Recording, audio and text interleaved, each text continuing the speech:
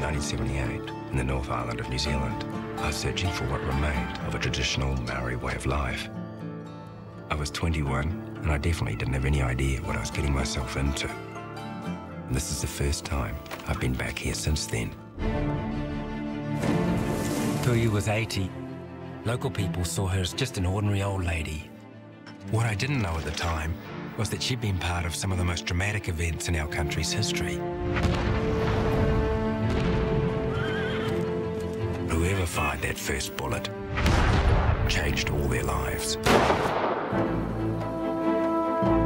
If a family was consistently struck by bad luck, they recognized the signs. And it is her children that are hardest hit.